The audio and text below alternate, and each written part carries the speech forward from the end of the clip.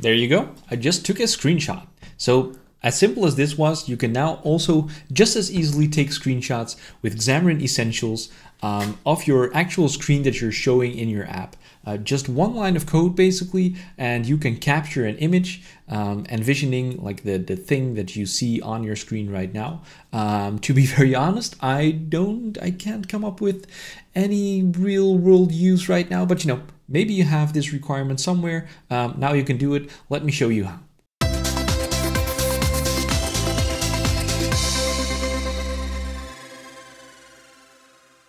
If you've been watching multiple of my videos, it's not going to be a surprise that I will be using a file new application. So, um, you know, you can just go to here, Visual Studio, File, New Solution. You're just going to pick a blank forms app, um, click next, do all the things, and um, you will end up with a application that looks like this uh, with a brand new template since a little while. So uh, that's pretty cool.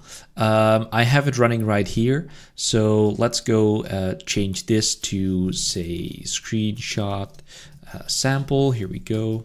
And that should reload. Okay. Uh, no need for all these labels here. So I'm just going to remove those and I'm going to add a button here and add a text which has take screenshot. And I'm also going to add a clicked event handler. So there we go. And um, I'm going to close that tag. So there we are. Now we have a button, take screenshot. And to also actually uh, show that button, I'm going to add an image down here and I'm going to give that a name so we can reference it from our code behind, which is going to be our um, result image. Here we go.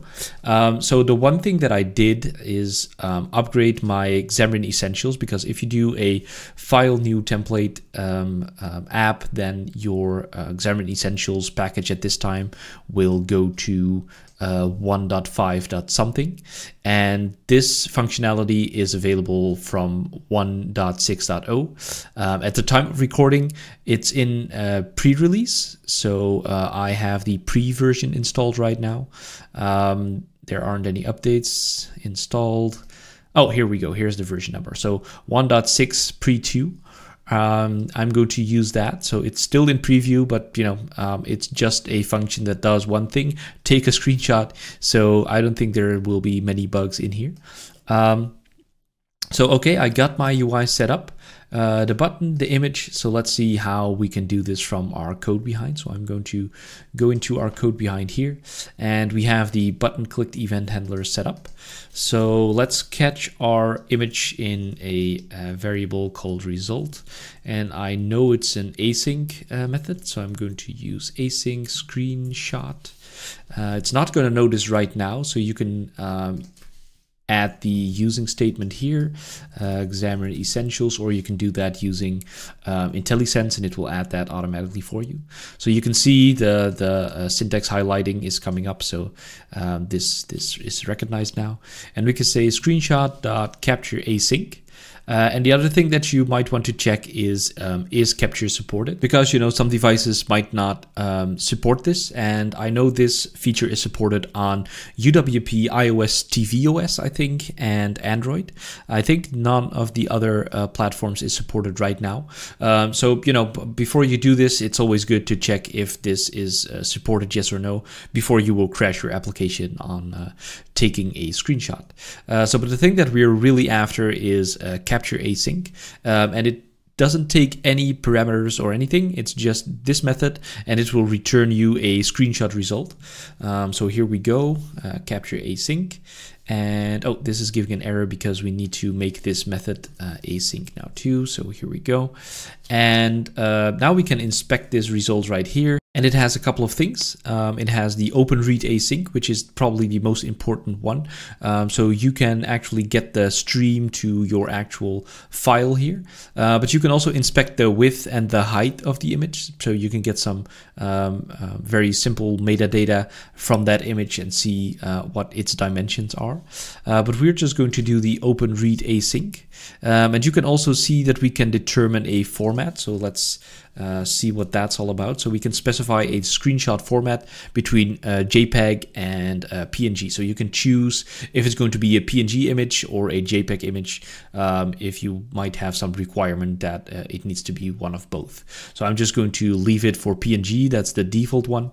And I'm going to actually catch this into a uh, stream variable here and um, I'm going to uh, make a new image source for our result image. So image.source is new image source dot uh, from, oh, then I don't need to do new.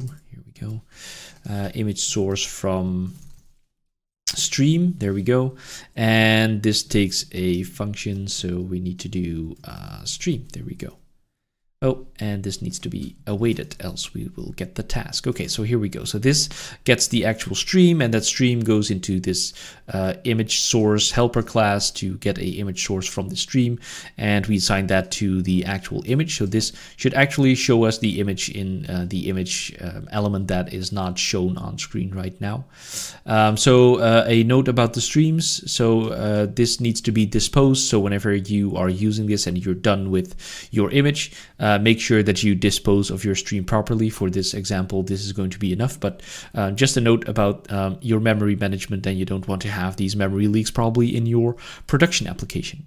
So now for this, let's just stop and restart our application because I made some changes in the code. So we um, need to restart our app and see if all behaves correctly as we um, expect it to do. So here's our app coming up again. And now when I take uh, click the take screenshot button, then you can see the same um, yeah screen coming up here. You can see the button is actually pressed at this time. Um, so and we have an image of uh, you know the actual running app. Uh, we've done that programmatically. So this allows you to take screen captures of your uh, application and um, you can do with that whatever you want after this. Well, looks like this one is a bust. I hope it went better in your application uh, taking those screenshots. Uh, actually, if you have a real life scenario where you want to use these screenshots, uh, please let me know in the comments because I'm very curious to find out. Um, also, if you like this video, please leave a like, subscribe to my channel. There's much more to come, um, and I'll see you for my next video.